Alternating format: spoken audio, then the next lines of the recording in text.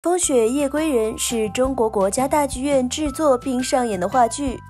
该剧由戏剧家吴祖光先生创作于1942年，经国家大剧院重新制作后，在2012年首演。至今，经过多轮演出，饰演魏连生和玉春的青年演员吴少群与程丽莎，则将十度聚首，重现剧中的凄美爱情故事。其中由程丽莎饰演的玉春可以说是那个年代思想高度解放的女性代表。程丽莎饰演玉春已有七年，每一轮的演出都能带给观众更加细腻真实的表演。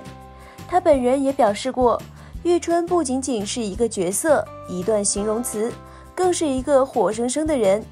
期待程丽莎能够再次带给观众惊喜，给观众呈现一个更加丰满的玉春。是顶值钱、顶管用、顶长久的。